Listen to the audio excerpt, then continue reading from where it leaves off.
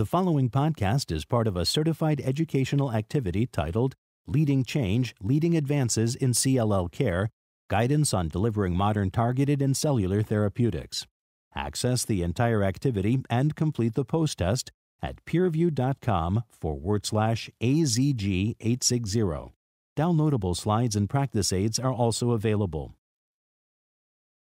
So, this morning we're going to be presenting Leading Change and Leading Advances in CLL Care Guidance on Delivering Modern Targeted and Cellular Therapeutics.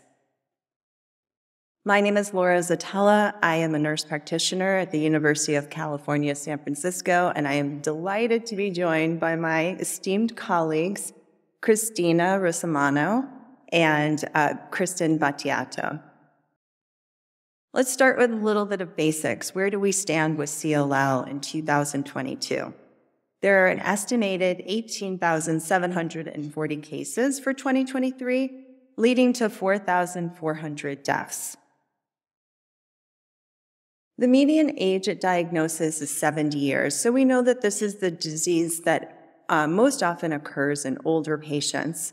And it's important to keep in mind that CLL and SLL are considered to be identical diseases. And the way I think about it is that it's called, it's, it's, it's from, it originates from the same cell, but it's called CLL if it's found predominantly in the bone marrow in the blood, and it's called SLL, small lymphocytic um, lymphoma, if it's found predominantly in the lymph nodes. It's treated exactly the same way, and the five year relative survival rate for adults with CLL is 88%.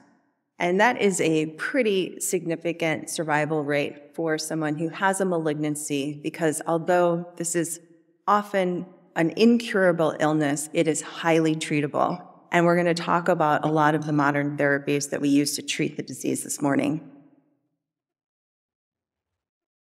So starting with like an overview of the, the current landscape in CLL, it's changed dramatically over um, the last few years where patients are no longer routinely treated with chemotherapy and are routinely treated with targeted therapy. So we have a number of agents that are BTK inhibitors, ibrutinib, um, which was first in class, and then newer second generation agents, um, acalabrutinib and zanubrutinib, which are a little bit more selective and have a more favorable side effect profile um, than ibrutinib. These are um, all approved for CLL and SLL. Then we have a BCL2 um, inhibitor, uh, venetoclax, uh, which is also approved uh, for CLL. And we have some newer agents that are right around the corner. Now, both of these BTK inhibitors and BCL2 inhibitors inhibit um, the B cell uh, growth pathway. And this is a very important mechanism of action because, of course, um, CLL is a malignancy of B lymphocytes. So what's up and coming are um, new BTK inhibitors with a slightly different mechanism of action, which we're going to talk about in a little bit, um, and nemtabrutinib.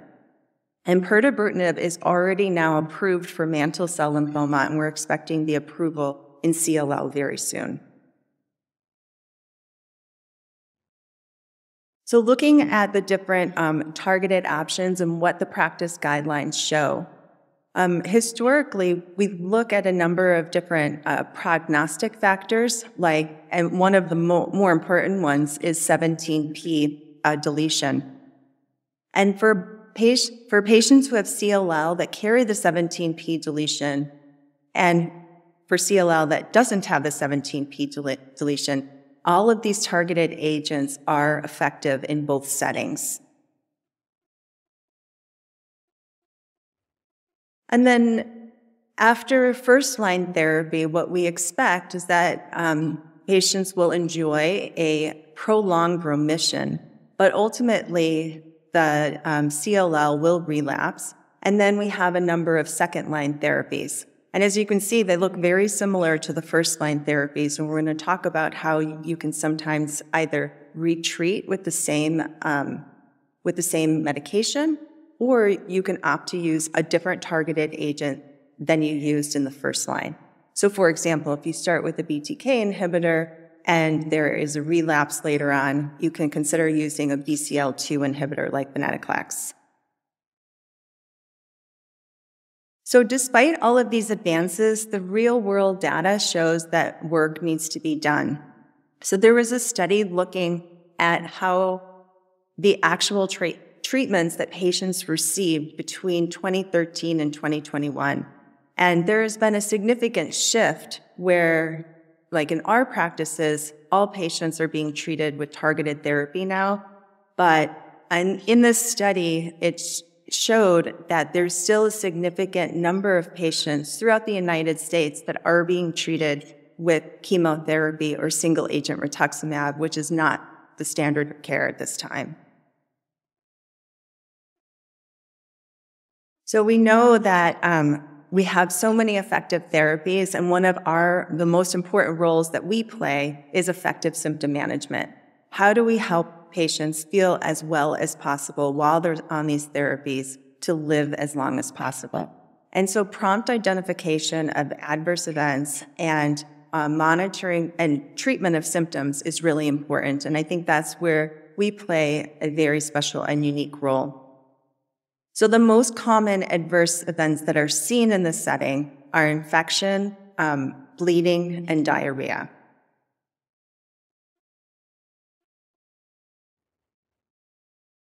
We know that it takes a village to take care of patients, and we have a lot of um, different roles on the healthcare team the hematologist oncologist, the advanced practice provider, the pharmacist, and pharmacists are especially important in CLL um, since these are oral medications and often need to be often need to be ordered through a specialty pharmacy. There's drug-to-drug interactions that pharmacists um, can help us identify. We also have um, social workers that provide social support, and then of course the oncology nurse. And the oncology nurse is really integral in the team in patient education, teaching patients what symptoms to report, what side effects to expect, um, managing those symptoms, giving them tips, counseling on the treatment expectations. We're going to talk a little bit about the logistics of the of uh, the targeted therapies and how we make the choice of using one over the other, and how we talk to patients. And there's a lot of shared decision making because you're going to see that there's not always a right answer. And then um, finally, connecting patients with the really important resources that are available to help support them. So, the CLL Society is an excellent resource for healthcare professionals, patients, and caregivers. So, they put on educational programs such as this one, but they also have an incredible, um, incredible resource on their website for patients, such as patient education materials that you can print off and give to your patients about the different medications they have some really innovative programs like getting a second opinion. Patients can contact the CLL Society um, and get a second opinion from a leading expert in the field, which is a really incredible resource, especially if um, patients are being treated in the community by a general oncologist. To have that second opinion can be um, really reassuring to them. There's um, also an expert access program where patients can ask questions and CLL experts um, from across the country will um, give them advice. So I encourage you to look at these resources. There's a QR code and, um, and the website on this slide. So the most important person on the team, of course, is the patient. And so we wanted to bring a patient into um, our presentation this morning. And we're going to do this through a video. So I would like um, to share this video of the patient voice. Um, this is Terry Evans, who's going to share his experience as a patient and advocate. My name is Terry Evans, and I was diagnosed with CLL 22 years ago in 2000. At the time of my diagnosis, there were really only two options for treatment. One was chemotherapy, and the other one was transplant. When I finally needed treatment in 2007, the treatment options really had not changed, so my first line treatment happened to be FCR or chemotherapy. This began my next 15 years of treatments. I have had over seven different treatment protocols, several of them more than once.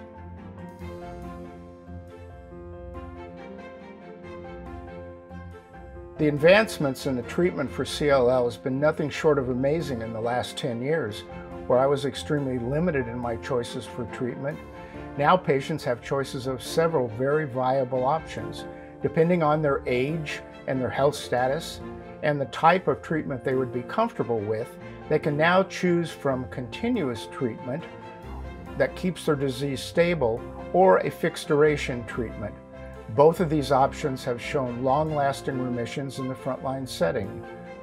There are also now trials comparing various combinations of covalent BTK inhibitors, venetoclax and obinutuzumab, that will hopefully give patients even longer lasting remissions. Patients should not neglect looking into clinical trials. I personally have been on three and I don't regret being on any of them.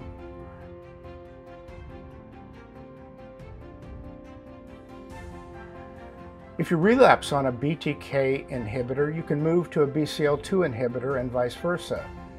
If a covalent BTK inhibitor is used in the front line, there are generally two reasons to discontinue therapy. If the reason for stopping is because of disease progression, then moving to a non-covalent BTK inhibitor, which are currently in clinical trials, may be an option. Clearly, one of the biggest unmet needs for CLL patients is if you are double refractory to both a covalent BTK inhibitor and a BCL2 inhibitor. This is an area where non-covalent BTK inhibitors and possibly CAR-T may be an option for the patient.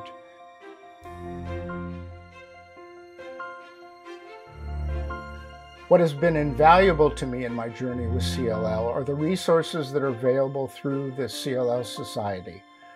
Whether a patient is interested in just learning more about CLL or joining one of the over 40 CLL specific support groups, all that information is available on the website at cllsociety.org.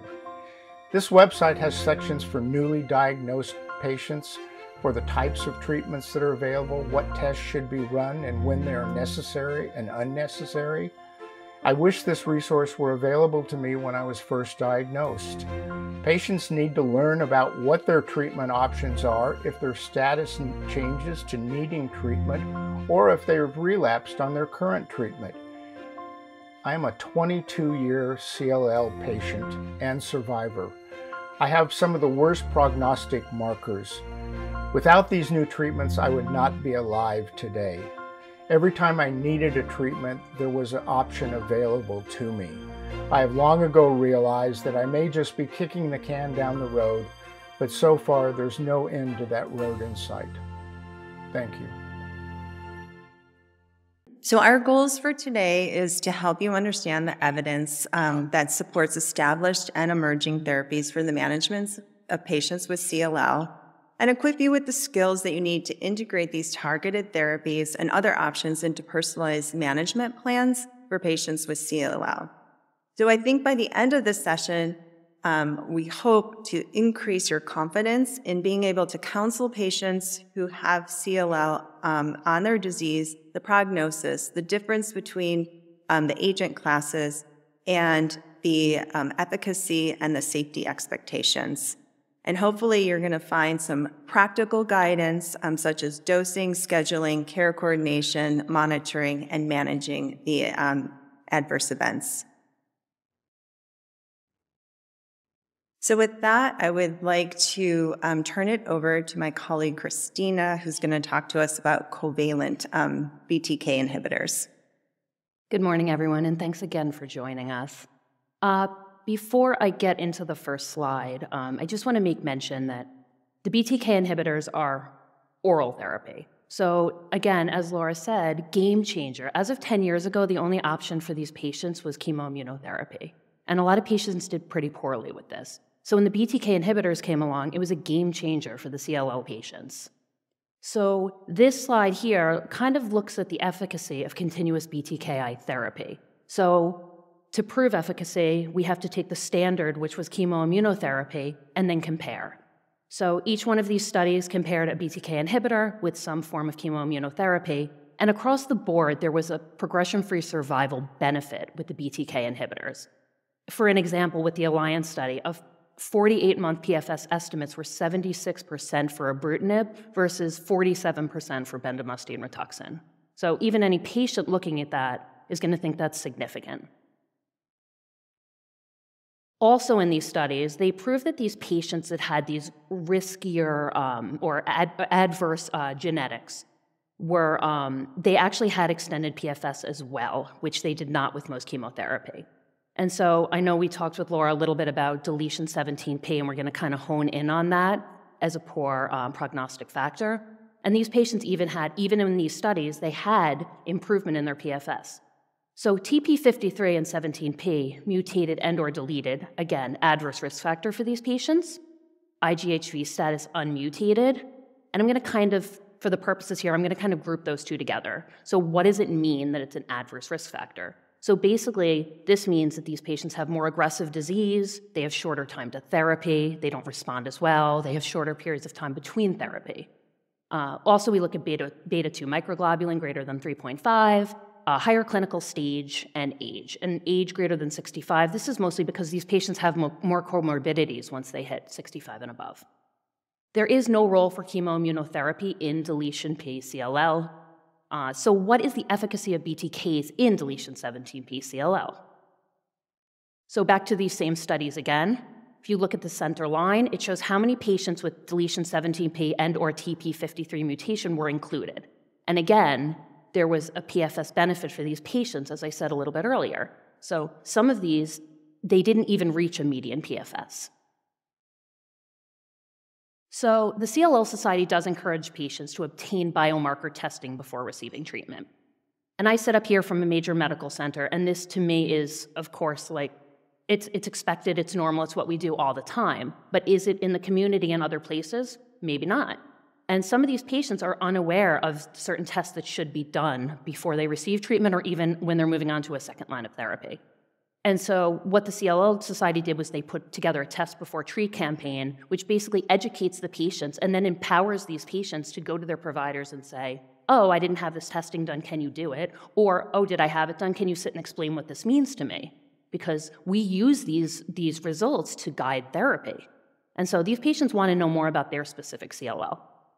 And so if we look at the test before treat, and again, you can also use this QR code to pull it up. Uh, they, so we test FISH and TP53 mutation before every treatment, and this is because it can change after you, you receive therapy.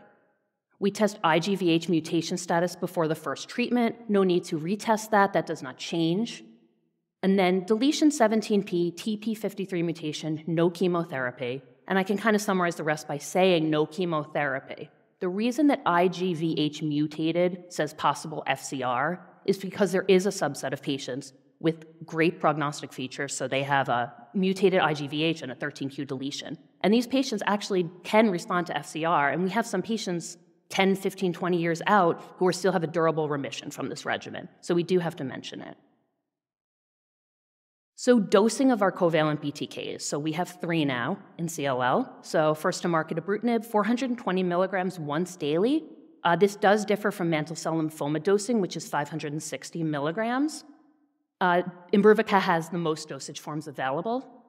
Acalabrutinib, 100 milligrams twice daily in tablet formulation, or zanubrutinib, which can be given either 160 milligrams twice daily or 320 milligrams once daily, and those are in capsules. So when we're starting therapy on patient, these patients, we obviously need to review dosing with them, let them know how they're supposed to take these drugs. And this is a little bit complicated, this slide, but what this is basically telling us is that there are interactions with these drugs and other drugs. And so what you want to do is you want to make sure that you're checking drug interactions. And we're all nurses, and this is what we do. So this is not new for us. So when you're going to start therapy, you'll run drug interactions, you'll make sure there's nothing that's going to be a significant issue. Every time that patient comes back in the room, and tells you that, oh, my cardiologist started a new med, my psychiatrist, you're going to again check because you're not going to rely on that other provider to have checked for you. There is uh, dosing and drug interaction information is available as a downloadable practice aid. So if you want to keep this for reference,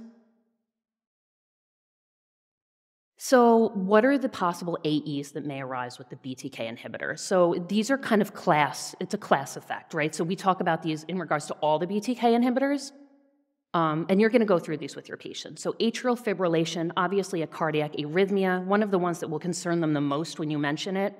Um, you really want to make sure your patients are aware of the possible signs and symptoms of atrial fibrillation so they can possibly identify and seek help if they need it. Some will be like, my Apple Watch now told me I'm an AFib.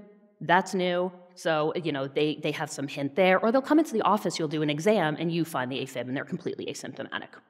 Arthralgia is one of the more difficult to actually manage. Um, joint pain, but I can also group in here myalgias, right? Some of these patients have muscle pain and muscle cramping as well higher risk of infection. These patients are already at a really high risk for infection, and now we're adding some therapy, so we have to be really cautious. And we know the sinopulmonary infections are what really plague our CLL patients. Diarrhea, I personally do not see this that often, but I do educate patients that when you start the therapy, you might have some. A few instances is fine. Try to hydrate. But if it's persistent diarrhea, I need to know about it hypertension, another one that will concern your patients, and usually, usually a side effect that comes along a little longer into therapy. But you have to tell these patients you might need an antihypertensive at some point in your treatment. Um, if they're already on antihypertensives, they might need to increase their dose or start a second agent. You just want to prepare them for this. And some of them have cardiologists, and you can work in conjunction with them. Bleeding risk, so we know these drugs thin the blood. They act a little bit like an aspirin, so higher risk of bleeding for these patients. Um, you want to warn them they'll have easier bruising, they might have some petechiae. Um, we want to know before any invasive procedures they're going to have because we need to guide them on when to hold the drug and when to restart, right? So we mitigate bleeding risk for these patients.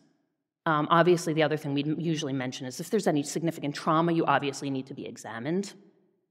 Uh, derm changes, so um, you can get some rashes, but really the, the, thing patients complain most about are brittle and um, frail nails and thinning or some hair loss. And that's where we usually look with the derm. Uh, fatigue, difficult because some of these patients are going in fatigued, like they're anemic. And then what I usually say is sometimes the fatigue can worsen before it improves, and it should get better with time on therapy. Ventricular arrhythmias, these are rare, you do have to mention they could occur, and cytopenias. And as we all do, we will measure CBC, we will monitor CBCs. So, what are the implications of BTK inhibitors, um, selectivity for off target effects? So, basically, what this slide is showing is that first to market ibrutinib was the least selective of all the drugs, right? So, it hit more off target effects, and therefore it has a poorer side effect profile. The newer second generation drugs, acalabrutinib and zanubrutinib, they perfected this a little bit, and so now they hit less off target effects, and therefore they have a better side effect profile. They're, they're better tolerated by the patients. There were head to head trials uh, that went on to compare the second generations like acalabrutinib to you know, the initial ibrutinib. Um, and as you can see, this is pretty significant data. So this is median follow-up of about 41 months. So AFib, aflutter, 9.4% in acalabrutinib versus 16% in ibrutinib, uh, 9.4% hypertension versus 23% in ibrutinib, and again, bleeding risk as well. 38% in um, acalabrutinib versus 51% in ibrutinib. So this is pretty significant difference.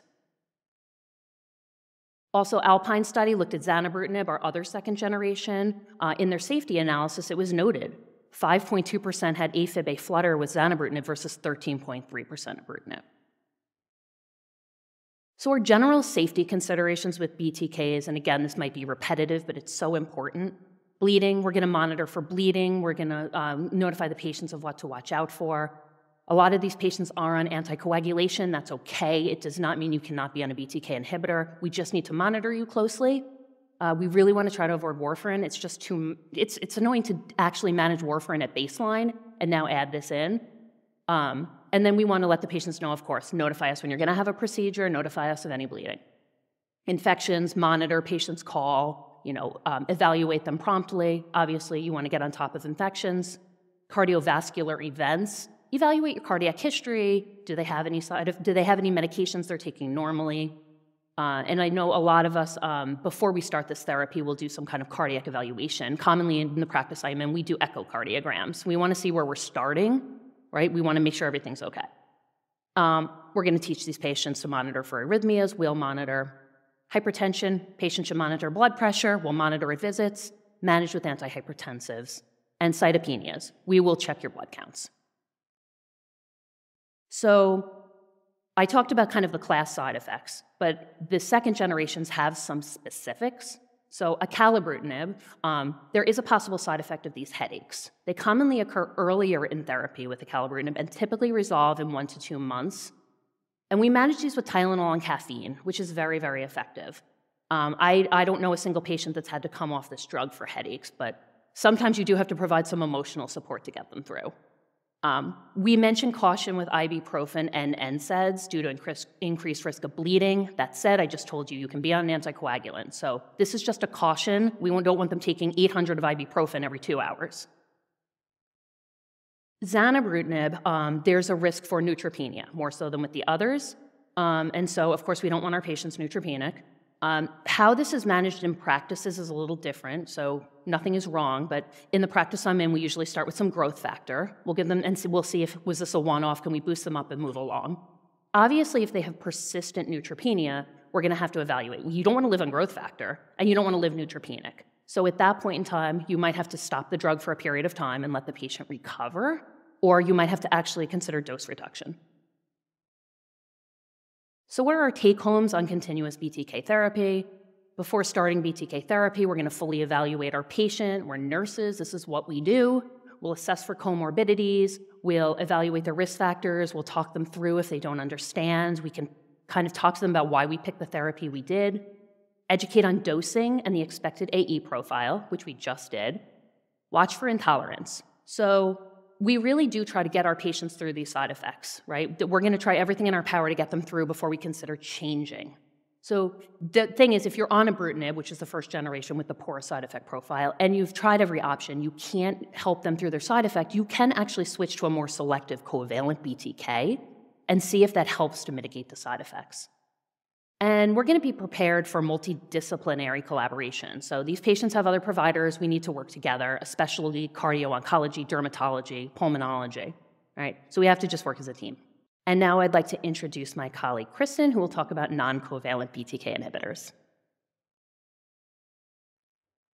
Good morning, everybody. Thank you for getting up the, at the crack of dawn with us. I'm going to talk about non-covalent BTK inhibitors and how nurses can prepare. So, with covalent BTK inhibitors, resistance mutations are the major driver of progression in CLL. The BTK CYS41 mutation is the, is the dominant reason for progressive CLL in patients receiving BTK therapy with covalent BTK inhibitors. And we've seen that patients who've acquired ibrutinib resistance, the majority of them have had mutations in BTK and PLCG2. Um, let's define double refractory disease. This is an, uh, an unmet need in our patient population as they continue to live longer and, and proceed through more and more therapies. So, the proposed criteria for defining a double refractory CLL patient is as a patient treated with a BTKI and venetoclax based therapy in any line of therapy. They've had clinical progression while on a BTK inhibitor. They've had clinical progression while on venetoclax within 24 months after venetoclax discontinuation or being resistant to treatment with venetoclax with a venetoclax regimen. Double refractory patients are a subset of double exposed patients and have a very poor prognosis and, and, uh, and suboptimal standard of care options at, at this time. The median time to discontinuation of the next line of therapy or death was about 5.5 months for this patient population. Non covalent BTK inhibitors can overcome BTK resistance. So covalent BTK inhibitors, like we just spoke about, ibrutinib, acalabrutinib, and zanubrutinib, bind to BTK via the cis481 binding site. If this site mutates, the covalent BTK inhibitors can no longer bind to BTK, and the patient will eventually have disease progression. Pirtobrutinib is a new non-covalent BTK inhibitor and is a very, a very exciting drug. It's non-covalent and does not rely on cis481 to bind to BTK. Therefore, it can overcome the cis41 resistance, and patients can have clinical response on pirtobrutinib despite the CYS41 mutation. The covalent BTK pirtobrutinib is highly active in BTK pretreated relapsed refractory CLL SLL patients per the Bruin trial. there was an overall response rate of 82.2% in BTK, BTKI pretreated patients with CLL and SLL. The median progression free survival was 19.6 months, and there was durable efficacy regardless of the CYS41 mutation status. Pirtobrutinib is also effective in patients with prior exposure to both BTKA, BTKI and BCL2 inhibitor therapy. The overall response rate was 79% in BTKI, BCL2 pretreated patients with CLL, SLL. And the median progression free survival was 16.8 months in patients with double exposed disease. Pirtobrutinib also has a really phenomenal AE profile. The most common grade 3 AE we've seen was neutropenia, which can be easily managed with growth factor support. I also want to highlight this is a BTK inhibitor, so you're going to be looking out for those BTK classic, uh, classic class side effects, and they include bruising, rash, arthralgia, hemorrhage, hematoma, hypertension, atrial fib, and atrial flutter. I do want to highlight there's a very favorable cardiac pro- profile with this with this medication. Only 2.3% of patients developed grade 3 or higher hypertension, and 1.2% developed atrial fib a flutter. Non-covalent BTKI dosing and safety. So based on the mantle cell label and experience in the CLL SLL Bruin trial, the, the dosing is 200 milligrams once a day. Um, we want to make sure you're monitoring for arrhythmias, infections, bleedings, and cytopenias, and look for any potential drug interactions. You want to avoid strong CYP3 and 4 inhibitors, and if uh, unless absolutely necessary, then you want to consider a dose reduction. And you also want to avoid strong. Can I go out? Okay, strong, there I am. strong to moderate CYP3 and 4 inducers. Um, if unavoidable, you'll have to consider a dose increase. So here are the major ongoing trials of non-covalent BTK inhibitors that are open to enrollment at this time. I want to highlight the Bruin CLL 322 trial, which we're, we're, currently enrolling at both Columbia and MSK at this time. It's, it's pairing pirtobrutinib with venetoclax and rituximab versus venetoclax rituximab in previously treated CLL SLL patients. The CLL Society can be very helpful in helping us navigate patient, helping patients navigate clinical trials. They provide guidance on how to understand the importance of clinical trials and navigate, navigate clinicaltrials.gov. It provides step by step guidance on searching for all available clinical trials with those of SLL and CLL. And you can learn more if you scan this QR code. So, nurse take homes on preparing for non covalent BTKI. Resistance to covalent BTK inhibitors is one of the drivers of progressive disease and treatment discontinuation. Patients with double refractory CLL historically have had very poor outcomes, and this non covalent BTK class represents a significant contribution to CLL care, can overcome BTK resistance, and are effective in treating double refractory disease. It's still investigational, but open via trial enrollment at this time. Pirtobrutinib is, approved in mantle cell lymphoma, and off label use may be a possibility. And I'm going to hand it back over to Laura. Okay, so we are going to talk a little bit now about fixed duration platforms. So we, we spent some time talking about the continuous treatment with BTK inhibitors, would be, which is taking oral medications every day. We have some options now where patients can have time limited therapy. Um, and so I, um, I want to start this section with that. So this is this is where shared decision making is really important and where we have a lot of long discussions with patients about the potential benefits and the side effects profile of the available options. So the one option can be taking um, you know pills every day indefinitely. Um, other options can be these fixed duration um, therapies. And the most common fixed duration therapy, the one that's approved right now, is venetoclax and obinutuzumab, which is a year long of therapy and can um, provide a very prolonged progression free survival and the possibility of undetectable minimal residual disease. So you can get a deeper remission with um, these fixed duration regimens than you can get with the oral continuous BTK um, inhibitors. But it's very different, the logistics. And we're going to talk a little bit about that because obinutuzumab and venetoclax regimen is very time intensive when it first starts. Um, there are frequent visits, sometimes a couple times a week for tumor lysis monitoring, um, versus the BTK inhibitors, where once um, patient starts therapy, you can check labs like weekly at first, ultimately monthly, and then after they've been on it for years and they're totally stable, you can often only check like every three months. So there are a lot of considerations. There's consideration if a patient is um, close to an infusion center, if you're seeing someone as a second opinion and, and they don't have um, an infusion center that's comfortable giving obinutuzumab, which um, carries a risk of infusion reaction.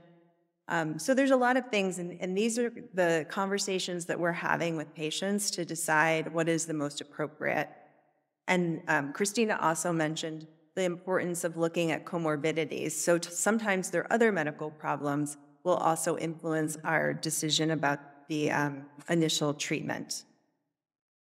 But I think one other important point that we're going to touch on is like it is nice having options because even if like no matter what option a patient starts with, whether they start with a BTK inhibitor or a fixed duration regimen, um, they will. We expect they'll enjoy some time in remission, but ultimately there will be a relapse, and then we can always move to a different class of agents.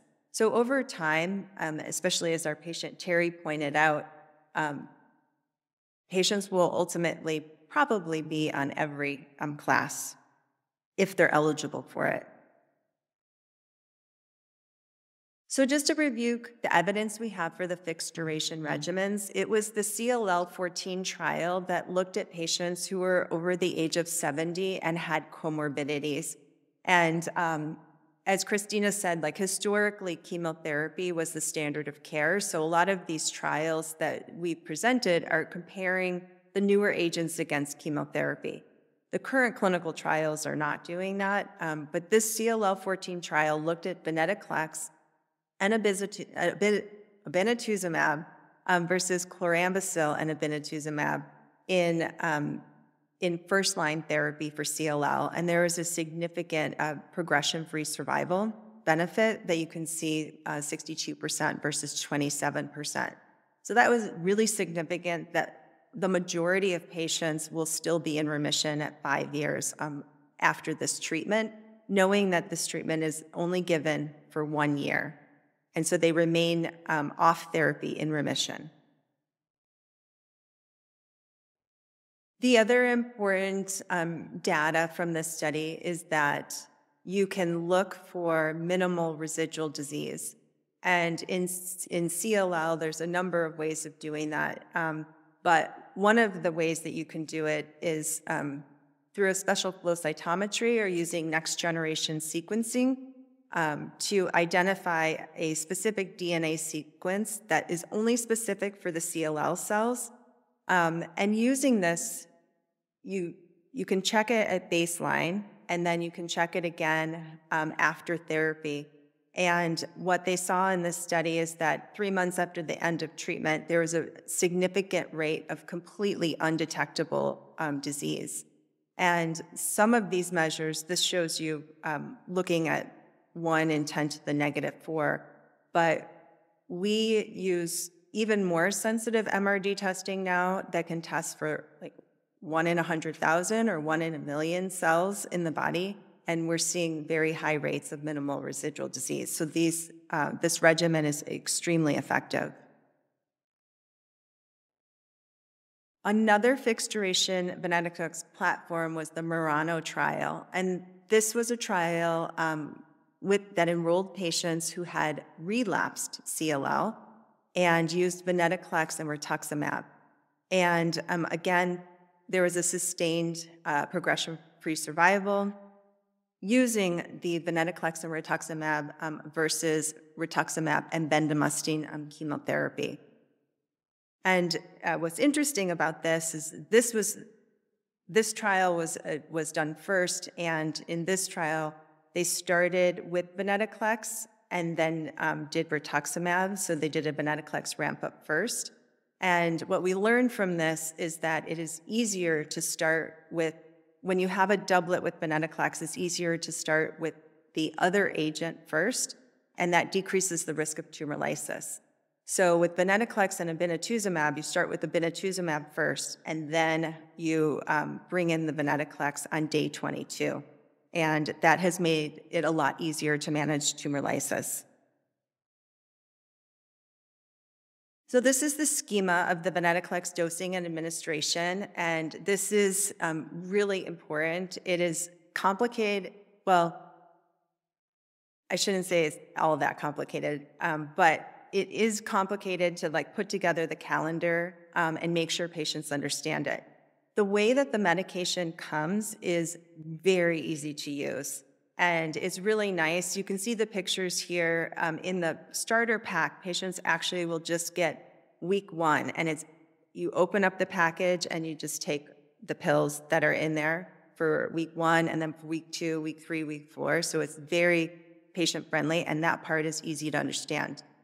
Um, what's complicated is from our point of view, is before you start venetoclax, it is extraordinarily important to assess for the risk of tumor lysis. And based on the risk, if there's a very high risk, patients need to be admitted. If there's a low or intermediate risk, then um, we can treat as an outpatient. Um, and in a couple slides, I'm going to talk about some of the other things that you do. But there's coordination of checking the labs, and um, especially with the 20 milligram and the 50 milligram ramp up. So after this ramp up has been completed, then the standard dose is 400 milligrams um, a day. So just like with the BTK inhibitors, there are drug-to-drug interactions with venetoclax, and um, you can see that it's important to avoid strong CYP3A inhibitors. Um, if they do need to be used, there is a dose adjustment required. So one of the um, unique adverse events with venetoclax is neutropenia. And um, with neutropenia, again, there are guidelines on how to manage it, but there's also some clinician preference in there. So you could uh, interrupt the dose for a couple of days and then restart. You could interrupt the dose and give um, growth factor. You could try to give growth factor and treat through. It just sort of depends um, on the patient, on the situation, where they are in the ramp up. So for tumor lysis monitoring, there's really good guidelines on how you determine the risk if it's low, intermediate, or high risk. And you can see on this slide here, it really, the important thing is the level of tumor involvement.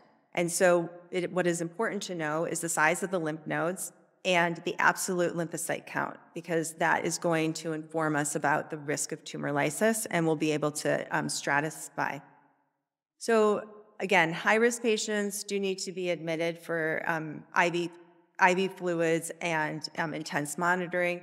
The low-risk patients, though, that we see outpatient, we can check labs the day before they take the dose, the day that they take the dose, six to eight hours after the dose, and then the day after they take the dose. And this is done for the, at least for the first two weeks for the 20 milligram and the 50 milligram ramp up.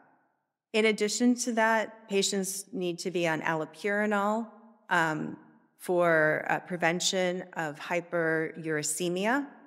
And if, um, if patients are at high risk and they have an elevated uh, uric acid to start with, rasburicase can also be um, an, an, option. And then lastly, it's important to counsel patients to um, be well hydrated. They need to be drinking at least two liters of fluid a day. So other um, adverse events that we see are GI um, events. There can be nausea or diarrhea. Um, there can be infection. Upper respiratory is, is the most common. Um, sometimes we also see a cough that's a non-infectious cough that is related to venetoclax. Um, rarely there is an autoimmune hemolytic anemia, and it can cause um, joint pain. Okay, so um, moving into what's up and coming, this is not approved right now, but I wanted to let you know that this is on the horizon. Um, was a Captivate trial where they looked at combining ibrutinib, so a BTK inhibitor, with venetoclax um, to see if, if it was possible to do a time-defined therapy using both of these agents up front. And this strategy achieved um, durable responses, a clinic, clinically meaningful progression-free survival, and treatment-free remissions. So this was nice because it was a fixed duration of therapy and it still achieved um, prolonged remissions. And again, just like with the other studies, um, it was it was effective in the high-risk groups, um, like patients who have um, CLL with the deletion 17p. Now, um, we talked a lot about tumor lysis with venetoclax. So the way this trial was designed is it was designed where you start with ibrutinib first and you do three months of ibrutinib to lead in. And that effectively um, cyto reduced the level of CLL and reduced the severity of tumor lysis syndrome. The most common um, high grade adverse events were neutropenia and hypertension. Um, but overall, it was it was fairly well tolerated. I think what's important is it was highly effective, but now you have to look at the side effect profile for a BTK inhibitor and the side effect profile of venetoclax. So certainly with any doublet, there is going to be um, a more significant safety profile. So, what does this mean for us? How are we going to prepare for the novel combinations? Um, well, as I mentioned, we need to now know the side effect profile for BTK inhibitors and educate patients about those potential symptoms as well as the side effect profile for venetoclax. And both of these medications are oral. They're taken at home. They're usually um, delivered from a specialty pharmacy and they're very costly. So the CLL uh, Society um, has financial assistant programs, and there's also other financial assistant programs um, that can be really helpful to help our patients afford these medications. And then um, education of the patient and caregivers, and using the resources that we have um, so that patients are empowered um, to report any symptoms to us. So one um, of the really important resources that I wanted to point out was this education toolkit. And you can kind of see here uh, what is available. There's a lot of information about each targeted therapy. And we know that when we're educating patients, it's, it's very helpful and more effective if not only we're giving verbal education, but also written education that they can refer to later. I'm going to talk to you guys about uh, an investigational option for our double refractory patients, um, CAR T cells. So, with CAR T cell therapy, we see a constellation of inflammatory symptoms re- related to T cell engagement and, and expansion. We can see cytokine release syndrome, neurologic toxicity, tumor lysis syndrome, B cell aplasia, hypogammaglobulinemia, the mouthful, and cytopenias. Um, the severity related to severity is usually related to disease burden and correlates with T cell proliferation. Can be mild to severe, leading to multi-system organ failure, typically occurring 1 to 14 days after CAR T cell infusion, and we'll often see an elevation in inflammatory markers with a massive elevation in IL-6.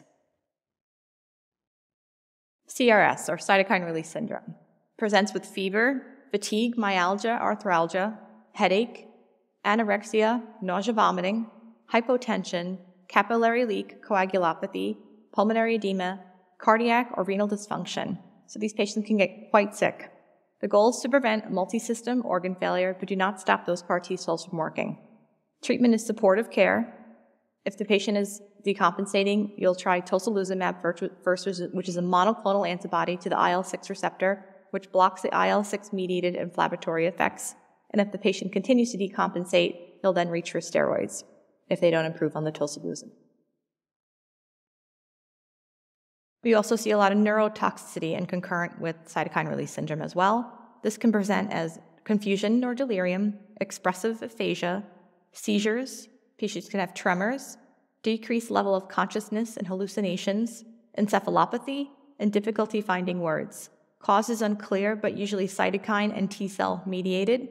Risk factors are unclear, but usually correlate with high disease burden and concurrent cytokine release syndrome. Treatment is supportive care and Keppra, and you usually have your, your, your neurology service following, following along with you while, you're, while they're inpatient, and sometimes outpatient as well. So I want to highlight a, a, a clinical trial, the Transcend CLL 004 study. These patients received anti-CD19 CAR with liso-cel CAR T cells. Um, there was an 82% overall response rate in heavily pretreated patients, and the median progression-free survival was 13 months in patients progressing after both BTKI and venetoclax therapy. We did see some toxicity with these CAR T cells. 74% of patients re- uh, experienced some form of cytokine release syndrome, but I want to highlight that uh, only 9% were grade 3 or higher. There was also some neurotoxicity patients saw. 39% of patients had some form of neurotoxicity, but only 22% had grade 3 or higher. So treatment with liso-cel met its primary endpoint of complete response rate in patients with relapsed refractory CLL. And this is a potential option for patients, investigational option for patients who are double refractory with limited, with limited options for treatment. So we would we, we'd like to refer you to the back to the CLL Society. They have a lot of great information for you. They have a free CAR T cell brochure for patients and healthcare providers. They explain CAR T cell therapy to those with CLL in patient friendly terms.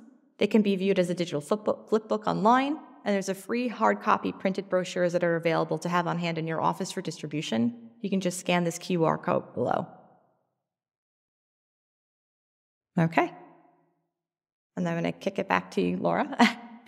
okay, so now that we have gone through all of the data, I want to bring it back to Terry, and um, he's going to share his experience on the role of nurses. Throughout my journey, nurses have been a major component of my treatment care. I must admit that I'm slightly biased here because my wife is a nurse, but more importantly, she recognized a serious condition that was not acknowledged by my first medical team. And because of that, she made me change doctors, which actually saved my life. I've also found that sometimes your best avenue of communication with your medical team is through the nursing staff, whether it was the doctor's nurse, the clinical trial nurse, or the nurse doing the bone marrow biopsy on you. They have all provided exceptional patient care. For nurses in the audience, I would say that attending events like this are very important. They provide an opportunity for you to find out about the latest advancements in treatment, learn from your expert colleagues, each other, and patients, and then use what you've learned to adapt your practice to help patients with CLL like me.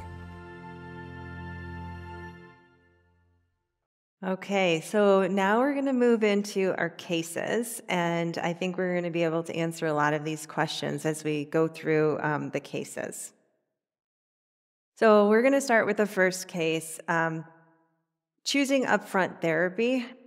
Uh, this is a, um, a case of a 73 year old patient presenting with symptomatic, higher risk um, CLL that has not yet been treated. There's a good performance status. The CLL um, ha- is, has an unmutated IGHV and a TP53 mutation. So this is a high risk situation. And the comorbidities include renal insufficiency. So, um, so I'd like to engage Christina and Kristen in, um, and we'll start with Christina, how you would um, how would you counsel this patient? What do you talk to them when they see these mutations and they know this is high risk and they're asking questions about it? Um, tell us how, how you deal with that. Yeah, and you know we're well aware that sometimes um, nurses this doesn't fall under nursing realm, and some nurses might be a little bit uncomfortable discussing these. But it's also really important to educate yourself on these because the patients we know they come to us with questions, um, and so basically knowing unmutated IGHV and TP53 mutation these are poor prognostic features. And so we don't want to sugarcoat anything for patients. We want to be upfront and honest with them. But the good thing is, what we can do is highlight the fact that therapy has improved so much over the past 10 years that now we've improved progression free survival rates for patients with our novel agents. Um, and other than that, we would just help them through the course of treatment once they needed it. Yeah, I'd like to echo um, Chrissy's comments. I would just educate these patients that, um, you know, both BTK and venetoclax-based therapy provide excellent disease control for these higher risk genomic features. Um, you know, and people have been able to have excellent disease control for many, many years to come. So um, there is really no wrong choice here, but um, you know, we might favor continuous BTK suppression of the clone because we tend to see these patients have a little bit more of a durable remission than those with the venetoclax time-limited therapy in the higher risk patient population. But again, venetoclax-based therapy is a totally, totally reasonable upfront option for this patient as well. Just have to be a little cautious with the renal insufficiency, which we can talk about in a bit. Yeah, I think that's a really good point, and thanks for leading right into that. Like, so at, at, the beginning, when you're talking to patients and you're thinking about this, I, I think one thing you said that's really important is um, is a lot of cl- clinicians with older patients do favor starting with a continuous therapy, especially with higher risk disease, with this idea that continuous therapy could possibly keep them in remission longer. We don't have that data. And so a lot of this is, um, is basically experience and expert opinion. Um, but in our center, that plays a role in our choice as well. And then the other thing in this case is renal insufficiency. So that does concern me a little bit, especially when you're thinking about someone who doesn't have very good um, kidney function. They're 73 years old, and um, we don't have any other information, but if they had a high lymphocyte count or really bulky lymphadenopathy, that would put them at higher risk of tumor lysis. So, when you're talking to patients um, initially, are there any other things that come up in your discussion? Um, initially, just when counseling with BTK inhibitors, um, again, just the I'll highlight, you know, the excellent disease control, the convenience of it when compared to this time limited therapy, it doesn't have as an extensive schedule. Um, the monitoring in the beginning, usually patients will come in about once a week, and in my practice is how we practice. We'll get you know weekly labs for the first month, and that's an opportunity for us, for at least our office practice nurse or for me, to check in with the patient and make sure there's no AEs that they're that they're that they're having, and we can help you know talk them through that. Um, and usually, you know, what we would just counsel them, even though the tumor lysis risk is very low in BTK inhibitors, usually we would start our patients on allopurinol just as, just as a prophylaxis, um, usually for the, about the first month of therapy, just to make sure there isn't any signs of tumor lysis. Sometimes patients can have really bulky disease, and it's, we want to be overly cautious and protect those kidneys. Um, and just making it clear that, you know, new side effects should be reported promptly counseling them, counseling them on the bleeding risk, and um, and just being supportive and letting them know that you're there, and um, you know we're going to help them get through this. Yeah. Thank you. My practice is pretty similar too. Um, one thing I would add is I always make sure to talk to patients about hypertension every visit. So some of some patients that we have have been on BTK inhibitors for five, six, seven years. I mean, they're very effective and you can be on them for a long time. And we know that the risk of hypertension can um, continues throughout time. And when you're on a medication and you're doing well, like three years later, a, a patient who develops hypertension might not necessarily um, connect the two.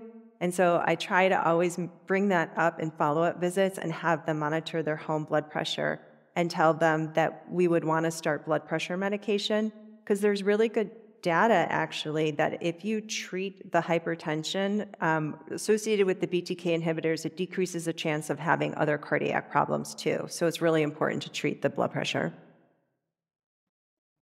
Great. So, did we cover everything, Christina, or do you have I think so. I think um, at the practice I'm in, we do a lot of this very simple. We, we don't monitor as closely, I guess, with the BTKs. Um, so traditionally, what we do, we'll start a BTK. One week later, we'll get some labs. Um, we'll review the labs with the patients. We might do a quick exam. These patients have rapid uh, shrinking of their lymph nodes and their spleen on these drugs. Um, so they feel almost an immediate response if they're bulky. Um, we'll just go through that. And then after that, we usually see them monthly and, and eventually stretch out to the three month follow up. So it's definitely not as daunting as a fixed duration regimen. Okay, so let's move into the fixed duration regimen. Mm-hmm. kind of talk about that. So uh, this patient's 59 years old, um, has a higher risk CLL that has not yet been treated, and there's a bulky lymphadenopathy. Excellent performance status. Uh, the IGHV is unmutated, and there's no significant comorbidities. Um, so, through shared decision making, if the decision is made to go to venetoclax or obinutuzumab, um, what are the next steps? We can start with you, Christina. Okay. Uh, so next steps here are education, right? So we're going to start educating our patients on this because there's a lot to talk about. We're going to talk about how often we give this regimen, how often they're going to have to come to the office, the possible side effects of both of these agents. Um, we're um, we're also going to talk about logistics with family and making sure you get back and forth and drinking lots of water and starting prophylactic protective medications like antiviral medications, allopurinol, as we discussed before. So there's a lot of education that goes into the first steps, and there are a lot of steps in this process, but that's where I would suggest we start. Um, yes, completely agree with you. Another way, another way our clinic would prepare from a medical perspective, um, I would want to get a really good tumor lysis risk assessment. There is tumor lysis risk. There is a tumor lysis risk seen with when you're giving obinutuzumab and both and both venetoclax. And sometimes patients don't have superficial palpable nodes. They can be smaller, and then you'll scan them, and they're hiding like a 14 centimeter conglomerate in their abdomen of, you know, of lymph nodes. So you need to find that. And if you're dealing with something like that, that might alter the way you monitor the patient. You might even consider hospitalizing them for the first infusion of obinutuzumab in order to for more frequent monitoring, more IV hydration, and it's just safer. Um, so we want to get that, you know, assess the, the, risk for tumor lysis. It's very important. Um, again, you want to make them aware of the potential of infusion reactions with obinutuzumab. About over 60% of patients will have some form of infusion reaction. Um, these patients should be prepared for that, especially on day one is their highest risk for developing an infusion reaction. I always counsel patients that, you know, um, it's a split dose. You give 100 milligrams on day one and 900 milligrams on day two. I said, you know, if you can take the week off or at least a few days, it's exhausting. They're there long, long, like the majority of the day, they're there, hours and hours. Um, and they're gonna and they're they're gonna be exhausted. They're getting you know high dose steroids. They're getting Benadryl. Um, you know they're having they potentially have fevers and feel quite unwell. So just kind of setting them up for what that first the first couple of weeks look like, but and letting them know it's it's not forever. It's manageable. Once you get through that, that that's the most difficult part of this process. And then we hope we hope that it'll pay off in the end, and they can potentially come off therapy and have a durable treatment-free observation. Thank you. Yeah, that, that's our experience too. And it's really amazing, even after that first dose of obinutuzumab, where you're only giving 100 milligrams out of the 1,000 milligram dose, you can see a rapid response. Um, the patient I treated this week, the white blood cell count went from 60 to 5 with just that very first one. So it's very effective as cytoreducing. And I think that is um, important to know because you're doing the tumor lysis risk assessment before you start obinutuzumab, and you're not starting venetoclax until day 22. So they've already had several doses. So by the time you start venetoclax, you want to reassess the um, risk of tumor lysis because they might very well be low risk at that point. I also wanted to stress something that I should have mentioned before, but these patients, so this, this regimen, this fixed duration regimen, is based on the CLL 14 study, um, and it is very intensive. And I think upfront it's important to let patients know that if they do not follow that regimen to a T, it's okay. Um, and that how it's done is based on how they're responding. So, as Laura said, someone whose white blood cell count drops from 60 to 5, they might now be neutropenic or they might be thrombocytopenic. You might actually have to hold day 8 of obinutuzumab or day 15, and that's all okay um, you don't want to let these patients feel like because of their initial response that they're off, you know, they're not following the trial correctly and something's wrong. So it's, you have to be really versatile in managing them. I can't remember the last time we started venetoclax on day 22. I'll be honest. I'm just happy when I can get them through obinutuzumab comfortably because it's a really, really intense drug. Yeah. But fortunately, it's only given for six cycles. And then the last, um, you know, six cycles of this treatment, they're on oral venetoclax and it becomes less intense and there are fewer visits. So I'm curious how you manage um, monitoring as an outpatient, like, because uh, you probably have patients that don't live close to your center. So, how do you, if they're outpatient, get the labs the day before, have them take their venetoclax, and then get labs six hours after that and 24 hours after that as an outpatient? Um, so what we do is um, the patient, we do the labs. The patient comes to the clinic. They start their drug. We obviously have to wait to test to check for tumor lysis 68 um, hours later. We actually automatically usually give them some fluids. They're there. They're waiting around. If they're not local, they can't just go home and come back. So we just give them some fluids. Um, we check their labs. We have them come back to the center the next day for repeat labs and, and possible hydration again if there's any tumor lysis noted.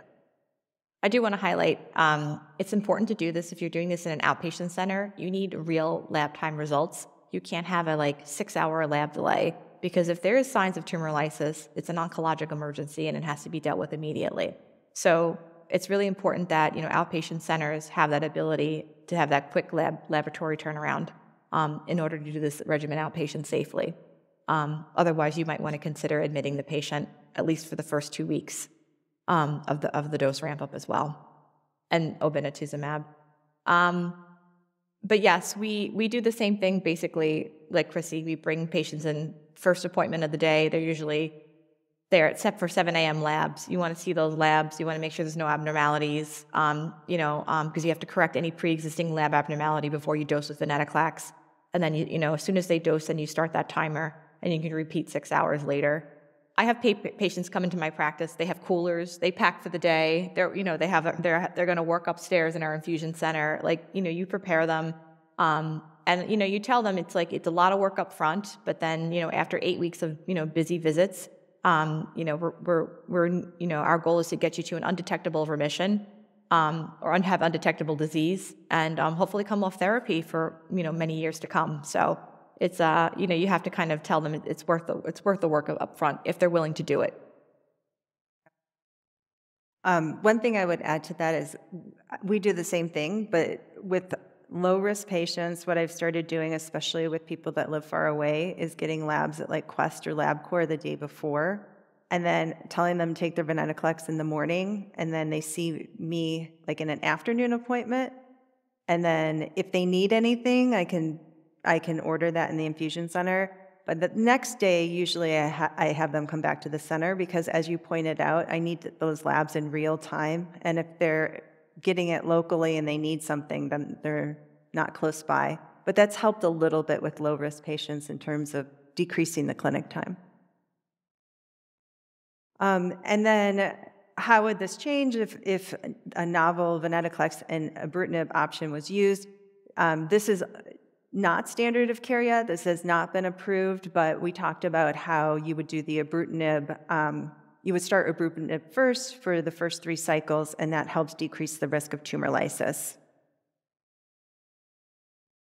Okay, so just to recap, we're going to be educating patients on the dosing schedule, um, the risk of infusion reactions, perform tumor lysis risk assessment uh, before they start therapy, and before they start obinutuzumab and um, again before they start the venetoclax ramp up.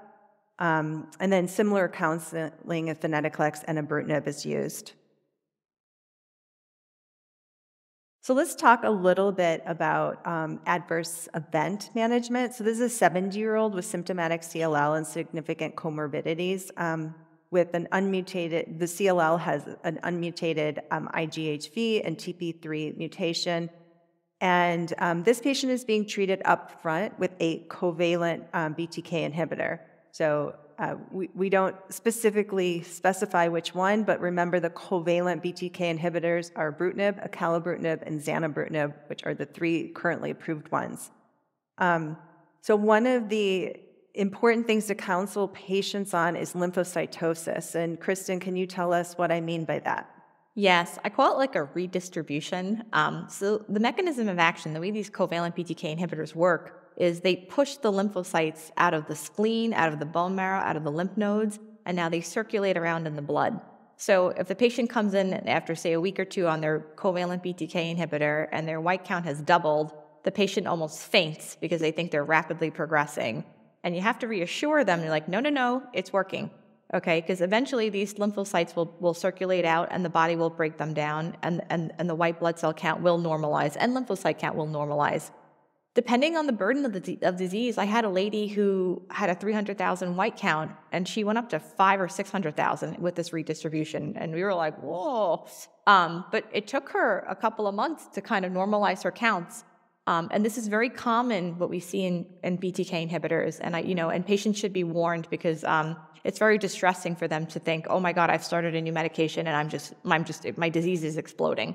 Um, so that's really important. You should just reassure them that's a good sign, it's positive, it means it's working. Thank you. The other thing I would add to patients with the white count so elevated is the risk of a pseudo hyperkalemia. So when you have a patient whose white blood cell count is 100,000, 200,000, 300,000, and you draw blood, all those cells are fragile and they break in the tube and they release potassium. And so you get that emergency call that the potassium 6.8, but it's actually not. And you just need to do a VBG or whole blood potassium to get the, the real potassium level. That happens a lot. A lot of times, if I have a patient coming in with a really high count, I'll just, it, in my institution, it's serum potassium. I'll just double both. I'll, I'll order both, and I'm like, don't cancel. Um, so it'll just save the, the patient, you know, because sometimes initially, depending on how how high it is, I'll repeat it. I don't like to, but if you just get a serum potassium on top of that comprehensive or basic metabolic, they'll run both and you'll see. Um, and it's a little bit more accurate. So yeah. it yeah. can be distressing. well, especially when you're monitoring for tumor lysis. Yeah. Yeah. yeah.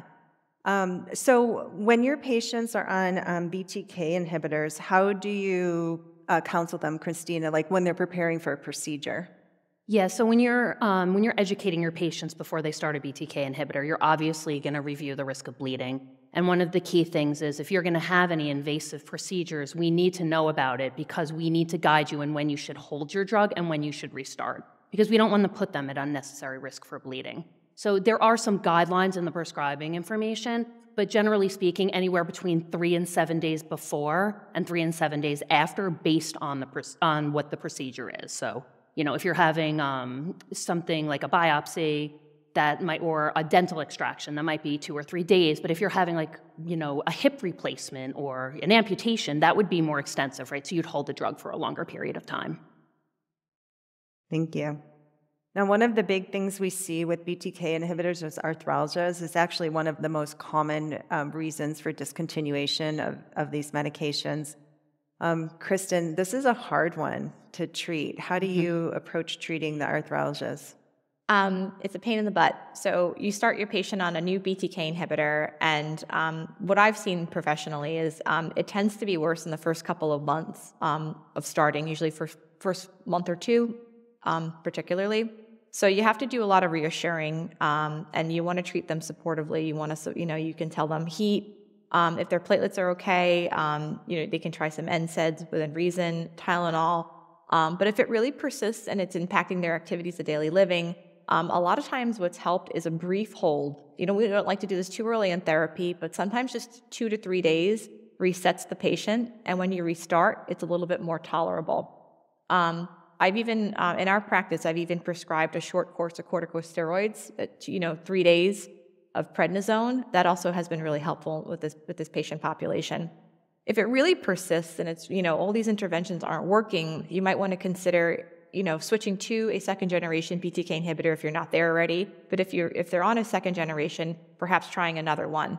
But usually we try, if it's like the first month of therapy, you kind of just talk the patient through it, try and get them through a month or two and see if there's any improvement and go from there.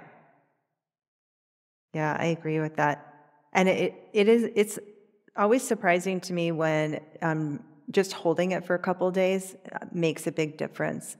Um, but ultimately, if it's been months, it's this is something that's really hard to live with. It's really hard. Patients will end up like not taking their pills or, um, you know, holding certain doses and things like that. And so, changing to a different um, medication can really help if, if they have these arthralgias, and sometimes changing it is enough to um, resolve it. I also want to add one more thing. I see a lot of muscle cramping, um, specifically with ibrutinib. We'll have a patient who's doing beautifully on ibrutinib for five plus years. they'll have muscle cramping, like Charlie horses, in the middle of the night. Um, and sometimes just adding a simple magnesium supplement or a vitamin B complex um, has really helped these patients and um, has um, kind of like made improved their quality of life. So obviously, you want to check a magnesium level to make sure that they're not already elevated or toxic. But if it's within reason, a little over-the-counter magnesium has uh, done a lot for this patient population. So yeah, that's a great tip. Yeah, thank you. Um, and then what about Christina? Did you want to talk? Well, you already mentioned something about the headaches on a acalabrutinib, but I'm curious. Um, are you seeing this only at the start of treatment, or are you seeing headaches occur later on after they've been on therapy for several years? No, we're really seeing them up front, uh, usually in the first one to two months of therapy. Um, they are super frustrating for the patients. Um, and so, you know, you just keep encouraging them. Um, again, as I said earlier, I've never seen anyone stop acalabrutinib because of the headaches. We tell them to take some Tylenol. We tell them to take caffeine. If they if they don't drink coffee, tell them there's caffeine pills available. And usually that helps. Um, they're they're very responsive to these. Uh, the only thing I can say is that, you know, for some reason, if you are growing concerned about headaches and there are other comorbidities around and you feel that further evaluation needs to be done, don't assume automatically that it is only the Xanamert, I'm sorry, the acalabrutinib. Great, thanks. Um, now we know that neutropenia is one of the um, major side effects we look for with zanubrutinib. The rate of neutropenia is a little bit higher than that. And um, we all have a little bit of a different practice. Um, and I think a lot of it depends on the patient, how we approach. So, Kristen, what do you do with, um, how do you manage neutropenia with zanubrutinib? Yeah, in, my, in our practice, we're a little aggressive with the growth factor. Once you start to see that you know, neutrophil count really start to drift um, close to one or even below one, we'll start giving uh, you know Neupogen injections and support them through it. Um, if it's really, you know, if it's really significant, grade three, um, we'd consider a dose hold and let, give Neupogen support and have a short interval recheck. And usually they pop right up and then restart them and see how they do.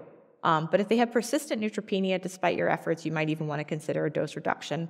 But we try and avoid that as much as possible. Even if, specifically if they're kind of early into their course, if they've just started drug, you want to get them, you want to try and get that full dose in as much as possible. Yeah, we do something really similar. Um, at the first occurrence, we would probably hold it and give growth factor and then restart it. And if it continued to happen, again, we, we're very aggressive with growth factor too. We give it for an ANC less than one and, um, and try as hard as we can to keep it, the, it at the, um, uh, the standard dose. Yeah. You do the same? Same. Okay. So I'm curious, um, do you preferentially do 160 milligrams twice a day of zanubrutinib or the once daily? We were talking about we, this on the plane we, yesterday. We have different. So I'm almost, it's hard for me to wrap my head around the fact that, you know, taking four pills at one time of the day is actually the same as taking two pills twice a day. In the practice I'm in, we are generally doing two pills twice a day. Um, these are kind of large capsules, um, and if we don't sense a problem with compliance or we don't experience a problem with compliance, that's the way we prefer to go. I know Kristen does it differently. We like daily dosing. Um, yeah, we prefer daily dosing on our patients um, because I feel like that is the one one of the issues we do see with acalabrutinib that BID dosing. People forget, you know, they're like, you know, and it's really, um, you know, and that's the you know, we tend to favor Zanu for older patients, you know, because of the daily dosing um, over acalabrutinib. So, yep, it's really it's really practice uh, specific. So. It is, and from a nursing perspective, it's so much easier. Like we know that for compliance issues, you should try to make it as simple as possible, and once a day dosing is so much easier. So I love that about um, that it's a possibility. But I actually agree with Christina. We we tend to do 160 milligrams twice a day. Um, with the idea that it's going to be better tolerated and possibly provide um, a more constant level of inhibition yeah. in the blood. Exactly. Mm-hmm. Yeah. Yeah. Um, okay, so we talked a little bit about how it's important to educate patients that lymphocytosis is normal and expected with BTK uh, therapy, and how important it is for them to let us know if they're going to have a procedure so we can counsel them on holding uh, the BTK inhibitor before and after the procedure. Um, the arthralgias um, on ibrutinib we manage with dose holds, uh, modifications, supportive care, um, and then ultimately uh, switching to a more selective BTK inhibitor if none of these interventions are effective. Um, the headaches on acalabrutinib are, are pretty self limited. Um, they're more common right at the beginning and can be managed with Tylenol and caffeine. And we talked about doing dose modifications and using growth factor support for uh, neutropenia and zanubrutinib. All right, our last case that we want to talk about today is um, preparing for sequential therapy um, in double exposed disease. Um, so that means disease that has been previously treated with a BTK inhibitor and a um, venetoclax based regimen. So this is an older patient with CLL who whose CLL relapsed um, to after an upfront venetoclax based regimen, and then uh, was treated with a covalent BTK inhibitor, and there's disease progression. Uh, the CLL has an unmutated I, IGHV, uh, but no TP350, no TP53 mutation. Okay, so Kristen, what are the options for this patient? So the first thing I'm going to ask is, um, how long was his remission after the venetoclax-based therapy, that time-limited therapy? If he got a remission longer than two years after he, you know, after he stopped that venetoclax-based therapy, we would have the option of restarting venetoclax again, as there would be a, a significant chance he would have response to it. If he relapsed within 24 months of him stopping venetoclax, um, he's probably refractory to it or resistant to it, and I would take that that option off the table. And at that point, I would tell him, you know, your standard of care options are suboptimal. Uh, they, you know, like I like I said before, the, the, the remissions are not durable with the like the PI3K inhibitors, and we know that these we know patients don't particularly respond well to um, chemotherapy with un- unmutated IGHV. So I would get him if he's not already at, to an academic center who has clinical trials available.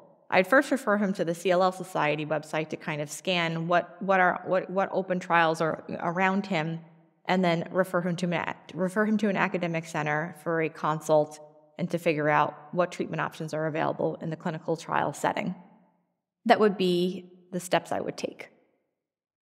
Thanks. That's a really important point about um, when the progression occurs.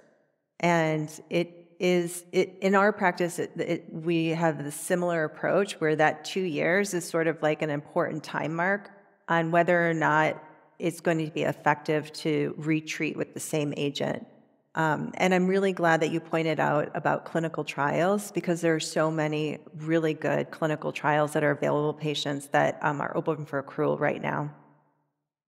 Um, now, we think that pirtobrutinib, which was just approved, uh, is a non-covalent BTK inhibitor, and it was just approved in mantle cell lymphoma. We think it's going to be approved very soon for CLL, and I know both of you have some experience with that. Um, so, are there any practical aspects, um, Christina, that you want to share with us? Uh, you just have to remember that pirtobrutinib is still a BTK inhibitor, right? So you still have to consider the same side effect profile. Even though it's a more selective drug and it has a better side effect profile, you still have to educate on all of this. Um, if the patient is receiving this on a clinical trial, it really depends on the institution you work at, if there's a, a, solid research team that steps in and kind of takes initiative here, or if you as the nurse are involved with these research patients. But you have to actually educate these patients that as much as we market the BTK inhibitors in general as maybe more gentler therapy, uh, less daunting, once you're on a clinical trial, it's, it's very regimented. Um, there are certain times you have to return to the office, certain labs you need, certain periods where you're going to need scans, you might need a bone marrow or you know, retesting flow cytometry. So you kind of have to let the patients know that this did just become a little more intensive because you are on a clinical trial. Anything to add, Kristen? Uh, no, I, I think you covered it, covered it all. Yeah. Um, I'm excited for it to come to market. I think it's going to fill a huge unmet need. And I think a lot of people are kind of waiting with bated breath for this approval, which is hopefully coming sooner than later. So, because there's a lot of patients who would benefit from this drug. Yeah, we are waiting with bated breath because Right now, there are three BTK inhibitors, and if patients don't tolerate one, we can switch to another. So we have a lot of options. But once um, the disease progresses, you can't switch to another one because it's not going to work. And pirtobrutinib is unique in the fact that it works even for um, CLL that's previously been resistant to the covalent BTK inhibitors. Um, so, Kristen, if you decide to retreat with venetoclax because this relapse happened five years after their last therapy, um, how would you approach retreating with venetoclax? Well, would you start at the full dose, or would you do a ramp up uh, again? It, like we would never make this easy. Why would we? No, we have to restart that whole five week ramp up all over again, and it has to be explained to the patient. We don't want him taking his. Hopefully, he wouldn't have any at home, but an old bottle of a 400 milligram dose because we need to start that slow ramp up at 20 over the five week you know course. And with the tumor lysis monitoring like we're starting from scratch. Um, if they've had you know if, he, if he's if he meets the iwCLL criteria for clinical progression that's what you have to do. Um, and depending on the physician you're working with they may choose to just use venetoclax monotherapy or add a um, you know an antibody to it like an anti-CD20 um, so that's a conversation with the physician about the treatment path that you'd want to do for the patient Okay. So, um, oh, so just to recap, um, clinical trials are always an option for patients. Off-label um, non-covalent BTK inhibitors also an option. Um, make sure to check out the tools available at the CLL Society. And um, with all of these therapies, it's really important to um, monitor for adverse events. Um, retreatment with venetoclax can be considered, though the timing of progression is a factor. And if venetoclax retreatment is chosen, um, there are similar tumor lysis prevention pr uh, principles that apply. So, the take homes for today is that the modern targeted platforms for CLL have really changed the landscape and resulted in prolonged overall survival and prolonged progression free survival and possibly time off therapy. Um, so, either using continuous oral therapy with BTK inhibitors or using the um, time defined um, venetoclax platforms are well established standards of care, and either one of those are appropriate standard of care for first line treatment or relapsed um, treatment of relapsed disease. So be prepared to engage in shared decision making with your patients um, and help them understand the effectiveness, the logistics, and the safety profile of these different regimens. Um, and please um, do refer to the CLL Society resources, which have so many useful tools to share with patients. So, unfortunately, with CLL, it invariably relapses, and most patients will be exposed to both a BTK inhibitor and venetoclax, but there are new treatment options on the horizon with different mechanism of actions that will help prolong survival in patients. And for us, it is very important to continue to provide um, education to patients, know, uh, teach them and empower them to report um, any symptoms promptly manage um, side effects. Um, so, with that, I would like to thank you for your attention. Um, we have hit the limit for um, for the time for this, but we do want to take questions for about five minutes. We had so many questions come in here. Oh my goodness! But I feel like we answered um, many of them already. So I'm going to scroll through here and see which ones we haven't. Um, okay, do you, so your patients who have high blood pressure, do you guys consult cardiology and have the cardiologist manage their blood pressure or do you manage it? We usually refer to either their primary care provider or cardiology to start and manage their antihypertensives.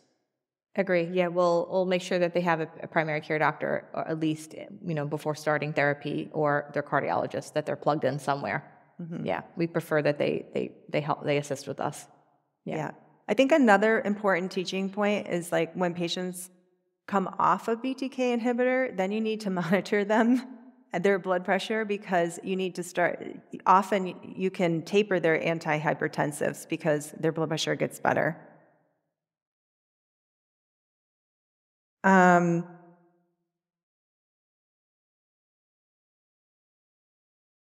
so, one of the questions is Should we be advocating that patients get early prognostic testing, and do you retest at progression? Yeah. Christina. Yeah, I know. okay. Uh, yes, uh, we kind of touched ab- upon this in the program, but um, you know, oncologists do this in different ways. Um, you know, in our major medical centers, we test for this stuff at diagnosis. There's um, there's some physicians who feel there's no need to test for this until right before you're going to actually initiate treatment.